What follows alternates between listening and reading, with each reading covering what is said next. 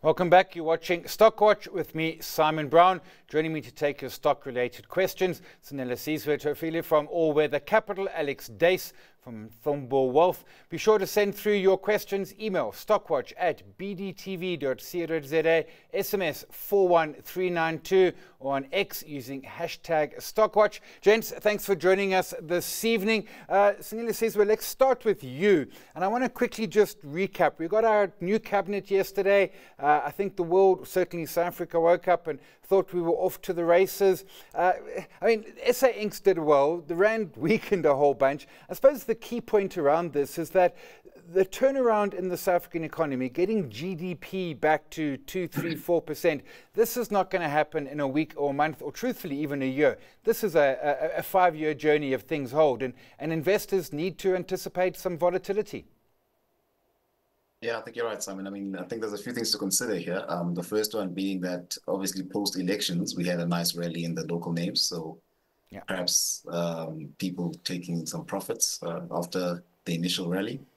I think the second thing is that, you know, despite all the optimism and potentially increased sentiment around this outcome, um, you know, execution is really where the rubber hits the road. And I, I don't uh, know how well the, the, the, the relative parties will work, to, the relevant parties work well together. Will that will remain to be seen and they'll have to execute. And I mean, I think if the events of the past week or so have anything to uh, do as an indicator for how they might work together, it might show that they might not work that well together given the friction that we saw before this deal was struck. So I think all those things are probably kind of factored into a little bit of uh, caution. And I think one of the, the suppose the last thing I'll say about it is that, you know, the foreigners uh, have been historically a big uh, shareholder base in South Africa. And I think um, at this stage, you're probably still seeing a bit of apprehension from them. And once they start, you know, I guess dusting off their South Africa handbook and looking at what's mm-hmm. out there, they might be able to then come back into the market, which might give us the next leg of growth and, and um, you know, market activity. Yeah, it is, Alex. I mean, it's it, to a fair degree, it's about foreigners, particularly when we think about the rand. Um, if we're looking for a stronger rand, either we need strong commodities or we need foreigners buying our equities and bonds. Alex, uh, the rand is otherwise just doing what it does best, which is be volatile. Yes, good evening. Um, yeah, I concur. Um, I also think large African fund managers also under-owned equities over the last few years. So I think they were the first ones starting to buy over the last couple of weeks.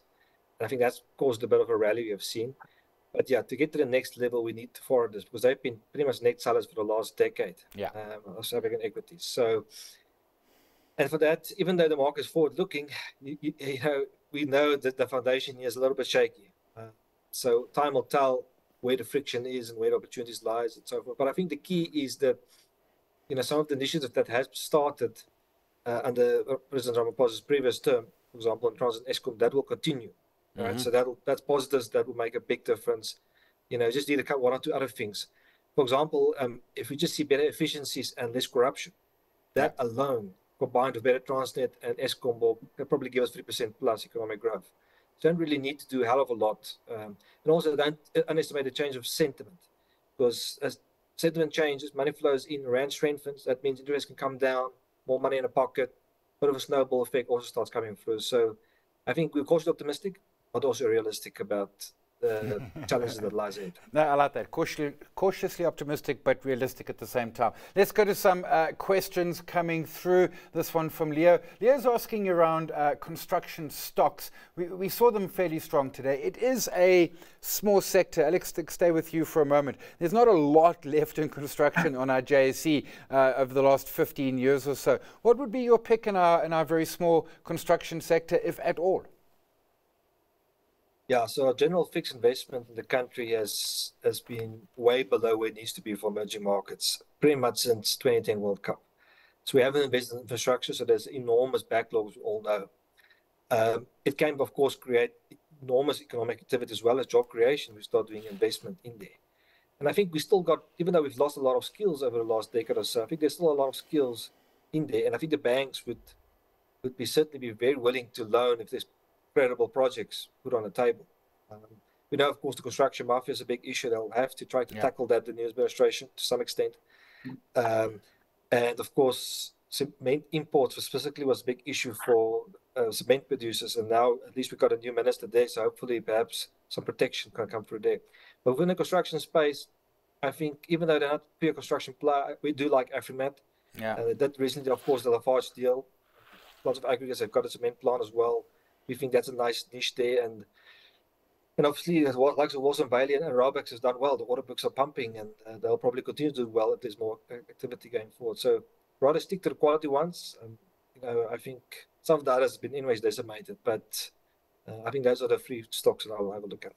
So Ulysses, where I mean, it is. I mean, Afrimat, that Lafarge deal is perfectly timed. I mean, Andries van Heerden didn't know what was going to happen, of course, but uh, certainly it has been a, a, a, regular fave, trading up some what 70, mid 70s after 50 rand late last year. Your pick in the in the construction space, or picks, if at all? Yeah, I think I'll, I'll agree with Alex on this. I mean, you have to stick to the kind of well-known names. I mean. Afrimat is one that, we, that we've liked. I mean, I think Raubex obviously will do uh, uh, quite well as well. I mean, you've seen in the past sort of, I guess, few months, I suppose, maybe 18, 24 months, that SANRAL is starting to kind of uh, pick up again for them. So, you know, doing all the road work and, and stuff like that, that should benefit them quite nicely. So I think if we can get, um, you know, I guess with uh, the new minister coming in, um, you know, more kind of um, activity in terms of capital formation, then you know these guys are uh, I won't say off the races necessarily, but you know they they've got great opportunity ahead of them. And staying with you a moment, changing tack, we've got a question coming through around Naspers, uh, which the, the, the viewer is saying it's been lagging Tencent, it's been lagging Prosus. We had results uh, Monday of, of last week. Uh, there were a lot of moving parts in there. They're benefiting from selling down the Tencent stake, they're benefiting from cash and earning interest in it, but they are making some progress on, on, on some of their other bets, which are kind of getting to break even. Your take on Naspers? Yeah, I think, I mean, look, uh, Tencent is still the tail that wags the dog in, in that one. Um, the discount is still quite um, attractive uh, for us still. I mean, it, it, was somewhat surprising, um, sort of the the way that it traded post results. But I mean, I think one of the things we faced maybe today, as an example, is that you know a lot of the trades that are happening on the market is guys cycling into uh, the local names and out of you know, the so-called rand hedges, um, you know, and Naspers kind of fits that bucket as well. And one of the other things that you must keep in mind, I mean, I know Naspers is a big share and uh, there's a lot of liquid shares in, in, in, the JSE, but volumes have been light, which suggests that, you know, uh, some of these moves aren't necessarily on the best amount of volume, so they will impact the price quite a bit. But I think you might be seeing just a little bit of cycling out of the rand hedges and into the so-called SA Inc stocks. So, you know, the Naspers, the Richemonts, the BTIs, those will all kind of tend to suffer when, when those trades are, are happening. Yeah, Alex, certainly we saw the industrial sector broadly today uh, coming under a bit of pressure. Your take on, on, on, on Naspers, which still, I mean, there are the bets that are coming to fruition, but it still really is a, a bet on China and, and, and, and Tencent. Yeah, we are positive on that stable. It was actually my stock pick the last time I was on here. Um, you know, since then, I think it's been a little bit weaker. Um, yeah, I, I, concur with the views there. So for me, also the result I thought was very good. I mean, outlook looks good. Um, we think Tencent is well positioned, so we will certainly be see this opportunity to to to accumulate. Um, I think if you take a three five year view, I think the business is very well positioned. Okay, take your point on that. Uh, so let's see, well, let's come back to you. What about the JSE as a stock? A question coming through from a viewer asking around the JSE. Of course, if we start seeing some uh, uh, uh, foreign inflows, I mean, if, if, the, if the story of the cabinet works, and I appreciate your point that there's a, a long way to go still, is the JSE opportunity there, just in the sense they could see better volumes coming through? Yeah, definitely. I mean, I think one of the things that uh, the JSE has suffered from has been a lack of volume. So if you look at, you know, the trading volumes in the past, um, maybe even a couple of years, um, you know, I think there was a lot of volume, say around 2020, you know, the lots of uh, trading around the pandemic coming in, or so investors leaving the market and coming back in and, and all of that. I think there was a bit of a high base there, but then I think there was a little bit of a malaise between then and now. But I think now um, they are looking at an opportunity Um, if again, this is a big if uh, if uh, uh, foreign investors do come back in. Yeah. Um, you know, the company's still on a good sort of uh, trading metrics. I mean, it's got a, think on my numbers, probably like an eight or nine dividend yield. It's trading on a sort of 11 or 12 PE. So it's very um, attractive from that uh, perspective. Uh, so fundamentally, and still quite a highly cash generative uh, business. So fundamentally, everything stacks up, but we just need a bit of sentiment to come back in. And it is a it is a an SA Inc. sort of bellwether as a company. So you know it will um, benefit if uh, you know all these uh, uh, tailwinds do come to fruition. Alex, uh, JSE, I mean, it comes back to your point, you know, cautious but optimistic. Yes, so I think the JSE has also done quite a lot of good work in diversifying revenue um, over the last decade or so. It's not only just due to equities and trades and so forth. Um, so, but certainly, if the foreigners do come back and we see our daily volume trade improve, there's no doubt it'll benefit. Also, if interest rates remain high for long, it also benefit from that from the margin deposits. So, I think the JSE has also cut a lot of costs. Uh, I think the business is relatively well managed, relatively lean just needs a little bit more activity, which we hopefully can see now. Remember, for a long time, we barely saw a, billion dollars traded on the JSE. Yeah. Sometimes even half a billion dollars. If we get back to one and a half, two billion dollars a day on average, you know, there's quite sizable upside on the JSE. So a stock that I'm not sure either of you necessarily watch on, but I'm getting a couple of questions on it today because it was up 100 odd percent. Psilocybin, uh, it, it, listed last week. It's a SPAC, special purpose acquisition company in the cannabis space. Is it something that either of you have got deep insights on, or can we move on to the next? Not from my end. Alex, yeah, from your no, end, yes. I mean, it, it, it, I mean, yeah. To the point being is that they've raised a whole lot of capital, and I need to go and buy assets. Uh, I, am not sure how much they raised. I'm not sure. There is a NAV. You can go and see what the actual uh, net asset value per share is, and that will be underlying cash. Uh, and I suspect it's probably a fair bit less than the 10 rand the share traded at today. Gentlemen, next go to another question coming through around uh, Anglo Platinum. Uh, Alex, let's start with you. I, mean, I, I don't know if, if, if, PGMs broadly are on your list, and if they are, if Anglo would be the Anglo Platinum would be the pick of the bunch. The problem they've got, of course, is that parent Anglo American uh, wants to, at some point, uh, exit from their, their fairly significant, what, plus 70% stake. Yeah, that's 100% correct. So I think there's two components to it, uh, Simon. So firstly, you have, to look at the fundamentals of, of PGMs. And secondly, the, the corporate action that's potentially happening at Amplats. So so even if the fundamentals are in a favor, the fact that there is this corporate action where Ang- the Anglo American, the parent company, is looking to unbundle it, that means it's going to be oversupply of shares and most likely some forced selling. Um, so as a result, there are some reluctant shareholders currently in Amplats. I think some of already have sold off because I don't want to be in that position. So if you look at it year to date, Amplats has materially underperformed Impala as well as Northam. Yes, it also disappointed operationally, but one of the big reasons is due to this corporate activity. Um, but on PGMs itself, it, we are more on the side of caution. Uh, we're not necessarily 100% bearish, but we're also certainly not, you know, jumping in in the moment. Uh, we do think that you know more supply probably needs to come down uh, also, the, the prices of palladium and rhodium wasn't sustainable. And when you had a, a, bubble like we had in rhodium, it usually then stays meandered for many years. It doesn't make a V-shaped recovery in our view. Yeah. And, and palladium, of course, also has traded a premium to, to platinum for about seven or so years. That has come to an end now, and we think that's where it needs to trade. So, actually, in our view, we think buying the platinum ETF is probably a better position if you want to be in that space. But obviously, you don't get the beta or the leverage upwards if stock do rally. So perhaps a combination of that and the stock. Amplats will not give you the highest beta upward, upward, but due to this relative underperformance, it might not be a bad opportunity. So I would say I'm probably neutral on, on Amplats. Okay, neutral. Uh, so us see where uh, the, the PGMs broadly, uh, Anglo Platinum in specific, it is a space or spaces you're seeing opportunity?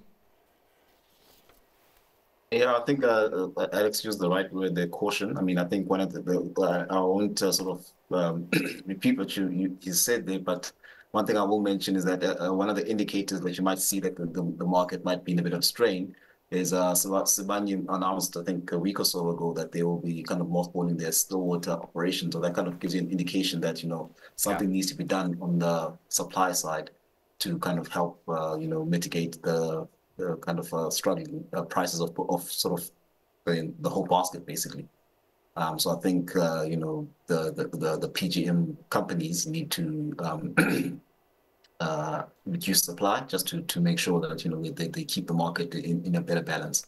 And I think uh, you need to be a bit more cautious while there's still uh, a bit of jostling around, I guess, amongst all the companies. I have to take your point on that. Neville's asking about the closing auction. Uh, Neville, to keep it quite simple, 10 to 5, we go into closing auction. You place bids and offers to buy or sell. Nothing matches until 5 o'clock. At 5 o'clock, the price at which the biggest volume is going to happen will be that closing price. You might have placed a buy order at 10 Rand 50, but you might actually get it at 10.30. So you might get better either way. But it's that jostling for that final five o'clock. And then it is where, where's the biggest volume? At what price point does it happen? And that then gives us the, the, the closing price. Uh, Neely Seaway, stay with you. What about Telkom? I mean, this is, Oh, I mean, I, I, have been in the markets long enough to remember when Telkom was a, well, it used to own a, a large stake in Vodacom. It was a, a 180 odd rand stock. Uh, they've got rid of, of, of SwiftNet, uh, but the market didn't seem overly thrilled. Is there opportunity? Is there value lurking in, in, in Telkom? So, no doubt Telkom is cheap from our view, but I think there is. Um, uh, perhaps a, a, lack of a clear kind of strategic direction. I mean, it's a highly competitive uh, industry. There's there's sort of uh, a lot of price pressure, uh, and also you know you got to deal with a lot of regulation, and of course there is the race for I guess um, you know data, you know with uh, Telkom trying to buy um, rather MTN trying to buy Telkom and that deal falling through more yeah. or less, and you know um, Vodacom's got their their, their deal with um, with CIVH. So I think Telkom might just be as the third player be stuck in a bit of no man's land. I think generally when telco markets mature, there's sort of a top two kind of uh, dynamic with um, perhaps a third or fourth, but being marginally profitable. So I think Telkom is stuck in that uh, space. And then there's obviously a bit of a capex bill attached to these guys, uh, sort of across the sector. And I, am not sure how well Telkom might be able to kind of uh, uh, manage all of that. Uh, they've done a few things to unlock uh, value or kind of just to, to try to kind of um, to, to uh, generate cash flows. But I think in a in, in a again in, a, in the telco market, you're probably looking at the top two players, and Telkom is kind of stuck in, in you know, stuck behind the, the two major players.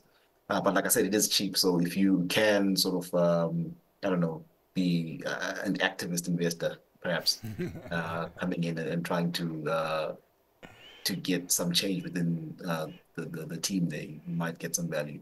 Yeah, and it is. I mean, Alex, I mean, telcos, mobile is, is, just, I mean, capex. We're currently, what, 5G? We know that 6G is coming at one point. Alex, your take on, on, on Telkom?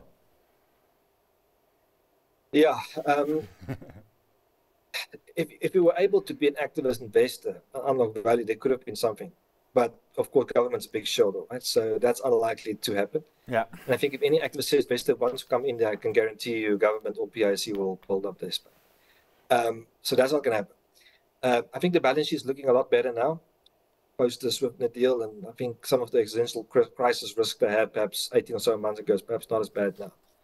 One thing I do want to highlight is we do have, of course, a new communications minister.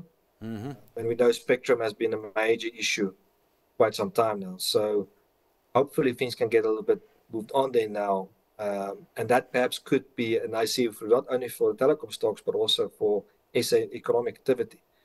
Um, and I, I, think that problem I have if the, is BCX, if they can sell that business or exit it completely, I think it also unlocks some value. That business is in dire straits, is going backwards at an alarming rate. Um, and I think they will for them to have a cleaner structure, they will probably need to get rid of it or at least get an equity partner. They've actually postponed that for now. So, yeah, it's a tough one. You know, you see a lot of optionality, but at the same time, we've been burned so many times before, and you see a lot of headwinds as well. So, you know, I, I probably would sit on a sideline bottom. So let's stay with you, Alex. Question coming through around preferred education stocks, of which there's Advtech, uh, of course, Curro and uh, Stadio all same but different. Have you got a, a preferred in the space? Is it a, space, a sector that you particularly have interest in? Yeah, so perhaps uh, briefly on. So we do like both Stadio and ADvTECH. So on Stadio, um, almost the, the, focus there for them is uh, distance learning. So think about it as a, as a big UNISA type of play.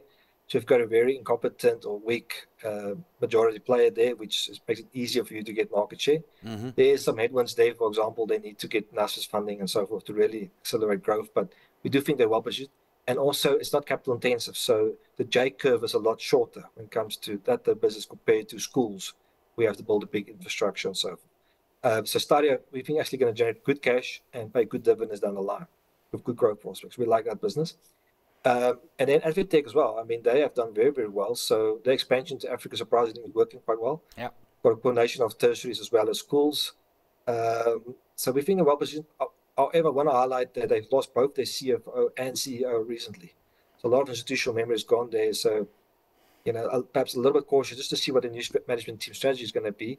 But other than that, that business is, is pumping, is generating very good cash, good growth prospects. We like it. Uh, Curro also good. Um, uh, uh, since the new management has come in there, they focus a lot more on efficiencies, which we like. Uh, you're going to see improvement in EBITDA margins, better capital allocation, improvement in ROEs. We think the unlock value, and I think the share price has already showed that to some extent.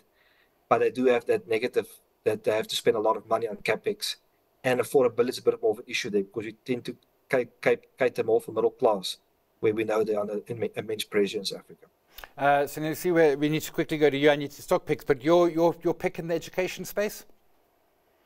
Yeah, I think uh, Alice laid it out quite well. So I think the one thing I will say is just that um, we have a preference obviously for Stadio. I mean. I think the main thing there is just, just around the capital light model. I mean, I think you know they've got a target to reach I think 55, 56,000 students by 2026 or 2027, and then ultimately 100,000 students by some later stage.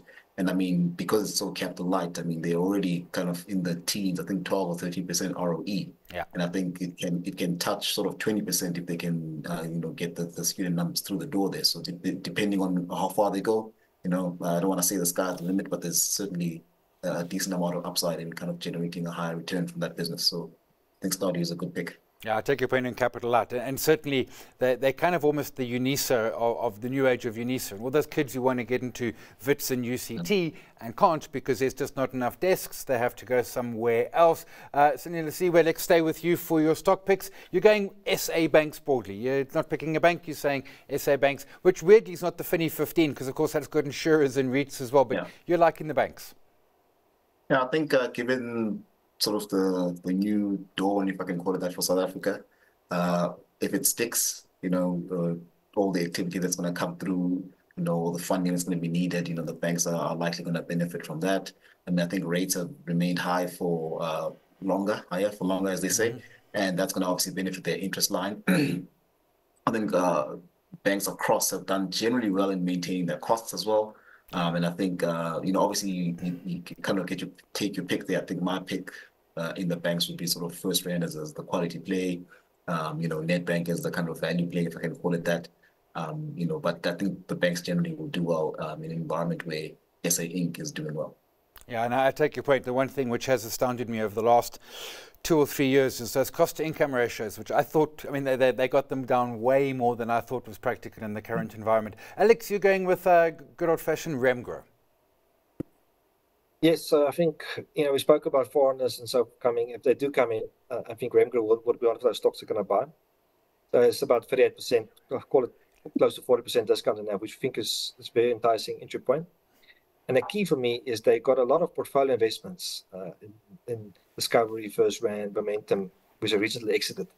And for me, that is where the opportunity lies. I think there's a lot of potential dry powder, a lot of potential corporate action and with this rally you've seen, specifically in stocks like Discovery, as I just alluded to, they could be looking to exit these stocks now and do something with it.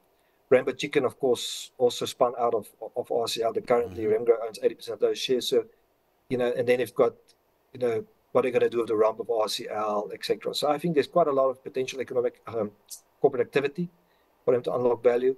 And the stock is looking cheap. And I think the underlying growth prospects looks better. And foreigners will love it as well. So for me, it's a good entry point. Yeah, actually, I'd forgotten that they own such a giant stake of the RCL, so they're now holding that that uh, significant same giant stake in uh, Rainbow. But that's it for tonight's Stock Watch. Thanks to our guests, Nele Siwe Tofile from uh, All Weather Capital, going with banks, First FirstRand and Nedbank, the two. Uh, Alex Duys from Umthombo Wealth, going with Remgro. Up next, the close. Stay tuned.